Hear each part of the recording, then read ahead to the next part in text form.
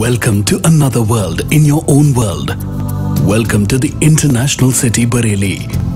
Global standards, international living, wide arterial roads, natural open spaces, water bodies, tree lined avenues, separate courts for sports, and in the middle, limited edition luxury international style villas.